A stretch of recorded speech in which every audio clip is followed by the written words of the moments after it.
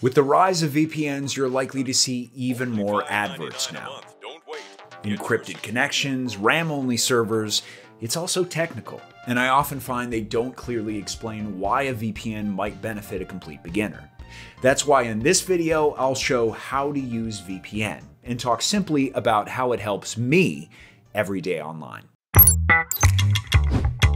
Okay, let's start simple by answering what is a VPN? Well, it stands for Virtual Private Network, and it's a tool that hides your activities online. Simply put, it encrypts your connection to the internet. For instance, when you open a web page or load an application without a VPN, Third parties like the government, cyber criminals, or even just your internet service provider can track what you're doing and determine your location and your identity. This is all possible because of a little thing we call an IP address that is tied to your geographical area and other data about you. A VPN helps to hide this and gives you more privacy online. Okay, so how does it do this? Well, it's because the VPN encryption makes your data unusable, scrambling it like an egg. It also means that you access the internet with a fake IP instead of your regular personal IP. And anything that's tracking you will see the virtual location of the replacement IP and not your regular one.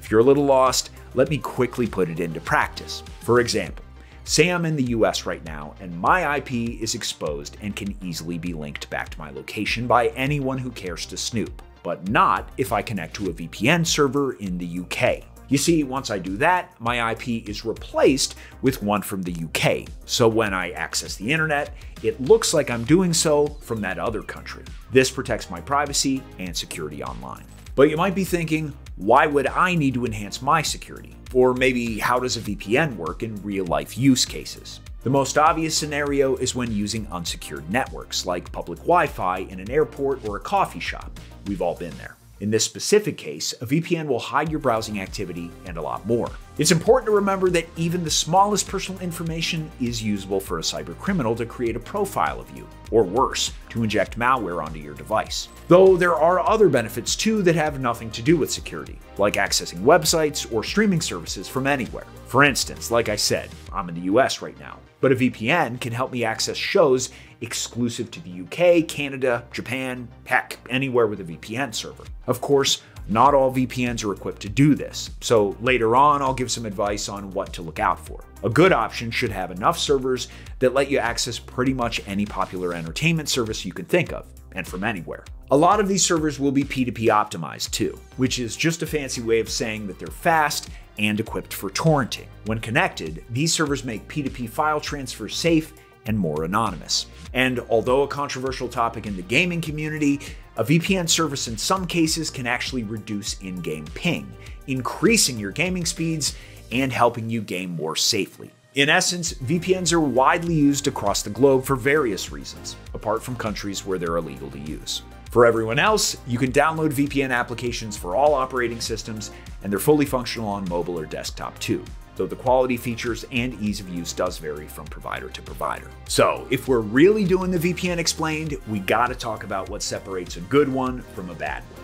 You see, to be called a best VPN, you've gotta do a lot of stuff right. First and foremost, by demonstrating strong security and privacy practices. After all, they need to be able to protect your data and not leak or harvest it. The best way for a company to do this is by having a good privacy policy. Something called no logs is often the best approach here because it means the company doesn't store any user activity or data. And you'll often find this claim will be enhanced by an independent third party audit, proving its legitimacy. Second, having a large number of servers spanning different countries and regions across the world is vital for a best VPN. This ensures a good variety of server choices for all activities and good speeds, although the latter isn't always guaranteed, so picking a VPN with servers close to you should give you the best speeds. Next, a modern tunneling protocol is also very important. Any VPN that offers WireGuard or WireGuard based protocols should have the best speeds. NordVPN being a prime example here with their NordLynx protocol.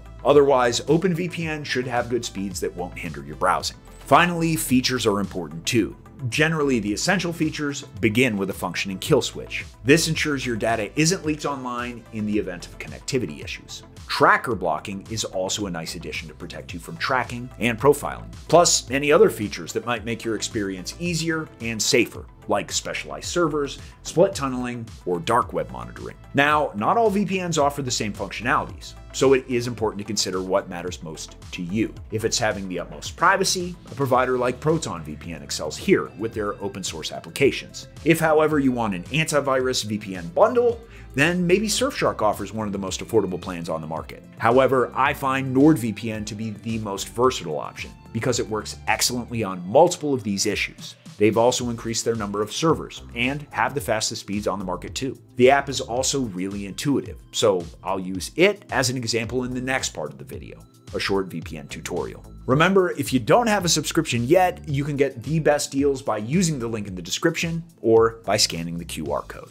Otherwise, head to your VPN's webpage and buy a plan. One tip is that you'll generally get the best savings by opting for the plan with the longest duration. Also, although there are free VPNs on the market, a lot of the time they offer lackluster features and sometimes actually collect and sell user data. For that reason, but also to be able to give you the full tutorial on how to use NordVPN, I'll stick with their premium plan. Next, you'll want to download the application for whichever device you want to use first.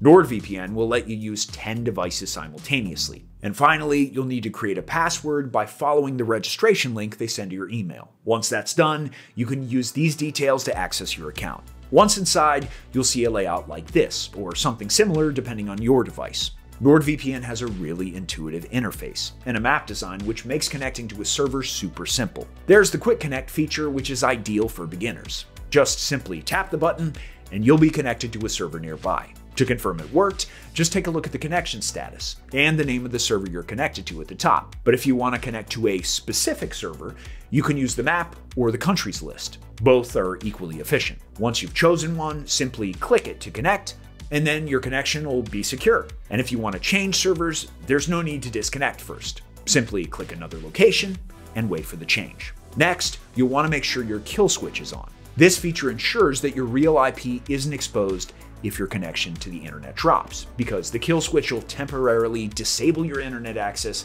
until the connection is back up.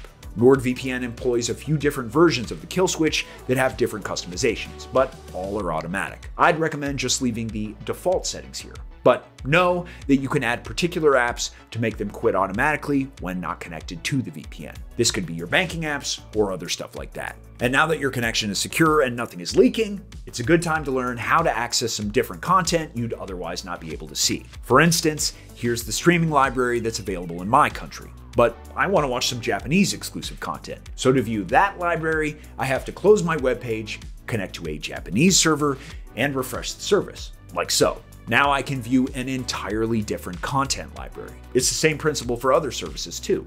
And NordVPN tends to have the best consistency, speeds, and minimal troubleshooting for all streaming in general. Finally, split tunneling is another feature worth learning how to use.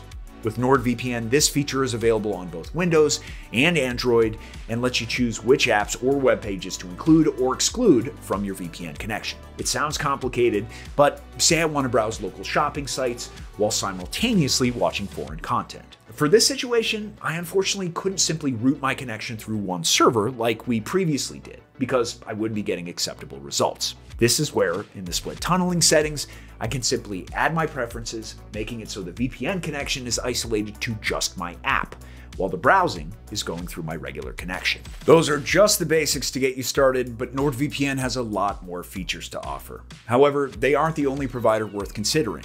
Surfshark and ProtonVPN would be my next recommendations. Both are trustworthy options that have lots of features and good performance. They have differences in their user interfaces too. This is how you connect to one of their servers, with Proton offering a map similar to NordVPN, and Surfshark just having a list. Proton VPN gives more of a tech expert vibe, so in comparison, it could feel less intuitive for beginners than NordVPN or Surfshark. Having said that, they do offer a guided tour of the app after signup. And Surfshark is probably the next fastest VPN on the market behind NordVPN, but at an even cheaper price. So, time for final thoughts. Considering a VPN is an essential part of staying safe online, it's vital that you choose a provider that's easy to use, safe, and has good performance. While NordVPN is my top recommendation, especially for beginners because it has the best speeds and lots of servers, any of my suggestions will protect your activities online immensely. Be sure to tap that box to get the best deal, and why not check out our channel for even more content. That's it for my VPN tutorial for beginners. Stay safe out there, guys, and see you next time.